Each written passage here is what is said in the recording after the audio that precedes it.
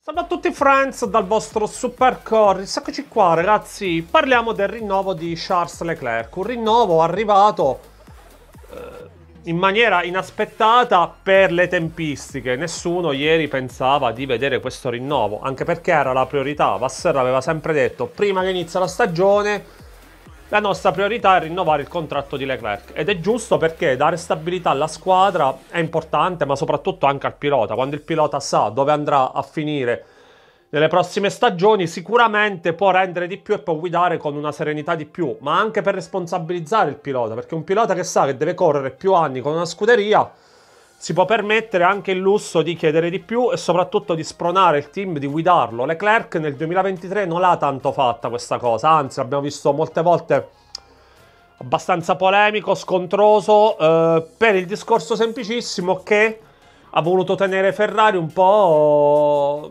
sotto stress per poter magari carpire qualcosa in più in sede contrattuale. È stata una strategia che ha eh, premiato perché Ferrari era un po' con le spalle al muro, ma devo dire anche Leclerc, perché sostanzialmente ragazzi qual era l'alternativa di Leclerc? Non ci sono alternative. L'unica che posso intuire io potrebbe essere l'Aston Martin, ma con tutto ancora da dimostrare a livello di competitività. Quindi conveniva a Leclerc mollare Ferrari, team dove tu comunque sei leader e sei nella squadra più importante della storia, sei leader e quindi vincere con Ferrari sarebbe molto diverso che vincere con Aston Martin. Converrebbe a Leclerc cambiare? No. Non a caso alla fin fine si è arrivato a quel rinnovo che io vi ho sempre detto arriverà. Ragazzi, arriverà anche per mancanza di alternative e della Ferrari e di Leclerc.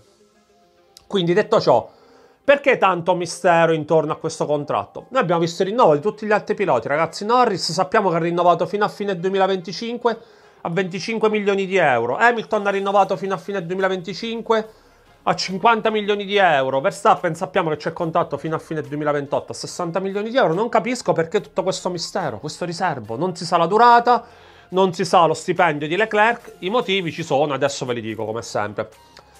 Voglio invitarvi però a iscrivervi a tutti i miei canali, se volete lasciate un like, seguitemi sui miei social, c'è la mia raccolta fondi per la beneficenza Super Coris and Friends, link di PayPal in descrizione, pure un euro donato andrà a enti di beneficenza che di mese in mese aiuteremo, verrete tutti ringraziati voi donatori con nome e cognome di chi appunto ha fatto la sua donazione, ricordiamo che in un anno abbiamo donato 5.500 euro, c'è l'aiuto e il sostegno al mio canale, abbonamenti, donazioni, potete aiutare il mio canale a crescere, a migliorare sempre di più.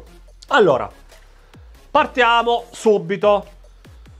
Charles Leclerc, il rinnovo. Allora, innanzitutto, ritengo che sia una buona notizia. Sì, ragazzi, tutti noi ferraristi amiamo Leclerc, gli vogliamo bene. Chiaramente io sono uno di quelli che eh, in maniera molto spicciola riconosce che Leclerc deve crescere ancora. Parliamoci chiaramente. Non ha fatto quel salto di qualità che ci si aspettava negli ultimi anni. È un pilota dal potenziale immenso, non straordinario, immenso per me Leclerc ad oggi non è secondo a nessuno come potenziale. Il problema è che Leclerc è un pilota che questo potenziale spesso non lo riesce a mettere in pratica. È vero che la Ferrari non è che gli abbia dato la miglior macchina mon- del mondo negli ultimi 5 anni, ma è anche vero che il pilota continua ripetutamente a fare gli stessi errori, dimostrando che a livello di maturazione c'è ancora da fare. Quando altri piloti magari sono maturati meglio, vedi Verstappen, ma lo stesso Norris fa meno errori di Leclerc nell'arco di una stagione, per quanto anche Norris ne faccia.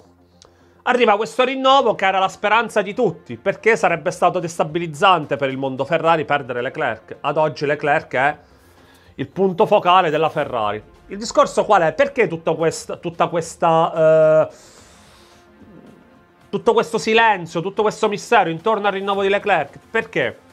Beh, raga, secondo me è semplicissimo. Ferrari ha fatto un rinnovo a Leclerc, io credo, molto a favore del pilota, molto a sfavore della Ferrari. Non che Leclerc abbia rubato nulla, eh. Abbiamo visto sia Vasseur che Vigna, che l'amministratore delegato, che John Elkan, che il proprietario, hanno avvallato questo contratto. Quindi è evidente che tutti hanno puntato su Leclerc. Però secondo me far uscire la notizia del vero ingaggio di Leclerc e del, della durata del contratto potrebbe creare malumori, perché molti ragazzi sarebbero critici sul fatto che lo stipendio che andrà a percepire Leclerc, che ricordiamo a salire, andrà a arrivare a 50 milioni di euro, uno stipendio mm, folle per quello che il pilota ha vinto ad oggi. Ad oggi 50 milioni di euro chi li prende in Formula 1? Hamilton, 7 volte campione del mondo, e Verstappen ne prende 60 perché è 3 volte campione del mondo in carica. Qual è il discorso? Dire che Leclerc ha firmato un contratto probabilmente quinquennale eh, a 50 milioni di euro, raga, sarebbe un caos, eh? anche perché poi sarebbe difficile anche far rapportare i piloti che correranno a fianco a Leclerc con lui, perché sappiamo, abbiamo visto che adesso Ferrari ha spostato il tavolo delle trattative su Carlos Sainz ed è giusto, perché dare stabilità è importante. Ferrari vuole rinnovare con Sainz perché comunque alla fin fine il rapporto con Leclerc è decente, i piloti hanno dimostrato valore, ma se tu dicessi al mondo Leclerc ha rinnovato per 5 anni e 50 milioni di euro, con Sainz come ti puoi comportare una volta che è ufficiale questa notizia?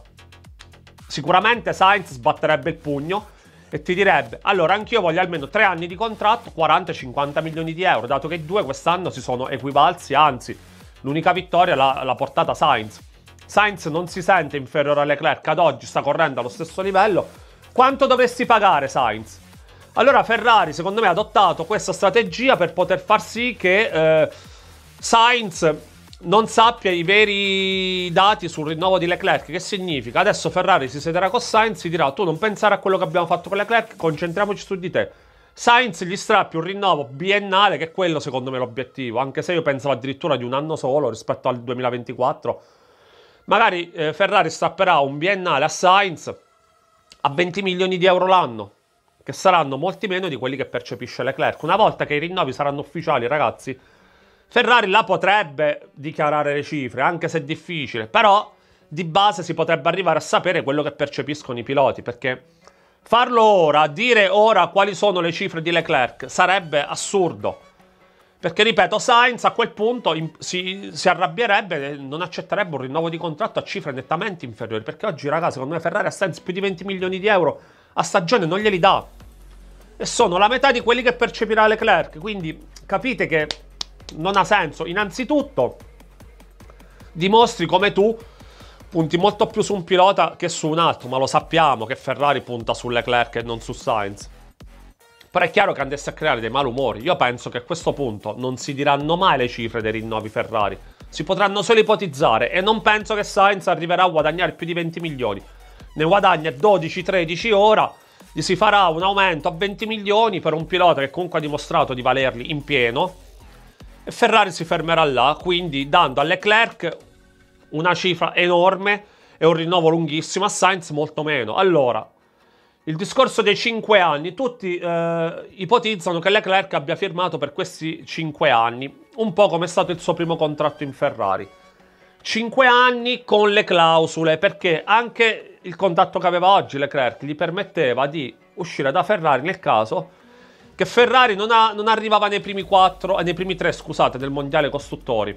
Si vocifera che questa clausola è rimasta, quindi se Leclerc si vuole tirar fuori da Ferrari nei prossimi anni, probabilmente dopo il terzo anno di contratto, quindi 25, 26, 27. Se Leclerc nel 2027 si volesse ritirare da Ferrari perché magari la macchina non è competitiva, non arriva almeno terza al mondiale costruttori, lo può fare. Quindi Ragazzi, vedete come il fatto che ci siano queste clausole sul contratto non è che significa qualcosa di buono, eh? Significa che Leclerc non ha questa grande fiducia in Ferrari. Parliamoci chiaramente.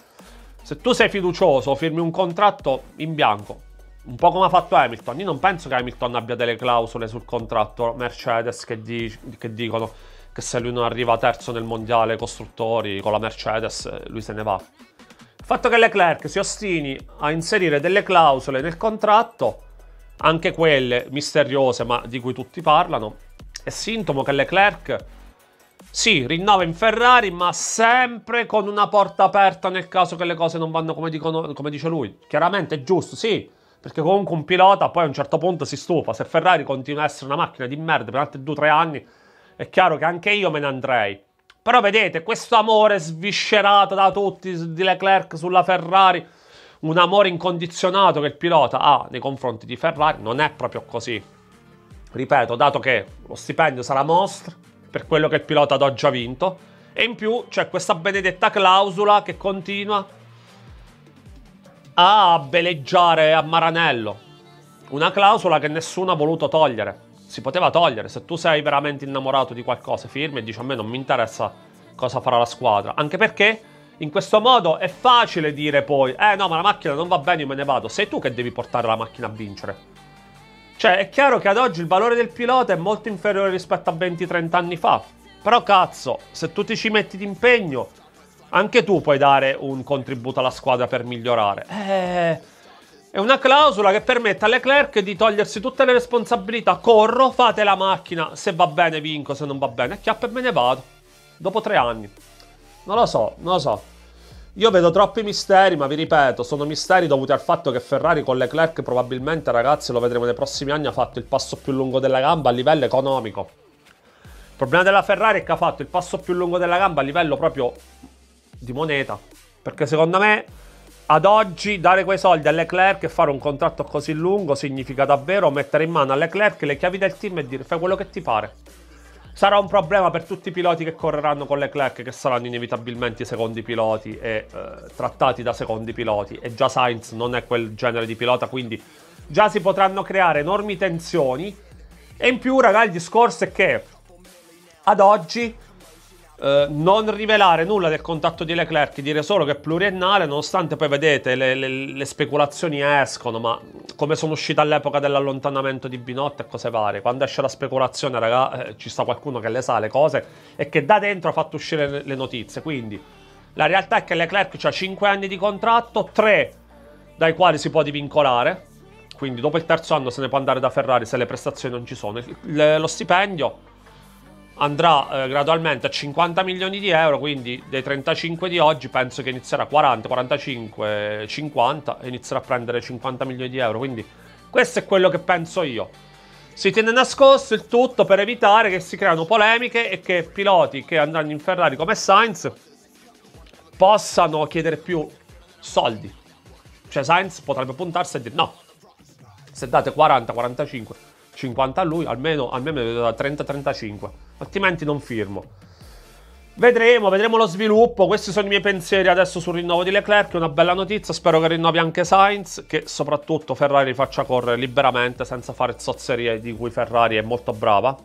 Vediamo, ragazzi. Fatemi sapere la vostra sotto i commenti. Ci vediamo ai prossimi video. Whoa, whoa.